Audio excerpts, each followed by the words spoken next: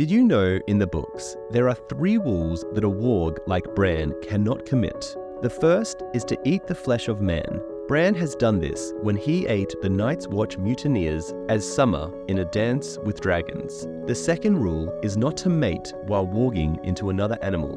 Bran has not done this. And lastly, to seize the body of another man. This is the worst abomination and the one that Bran has committed the most times through Hodor. However, there is a terrifying theory that because of Bran's affection for Meera and the ease at which he can slip into Hodor's skin, Bran might try and mate with Meera through Hodor and break the last of the three rules which he hasn't broken. Since Bran's last interaction with Meera is him in Hodor's skin comforting her, and she runs out of the room afraid of him.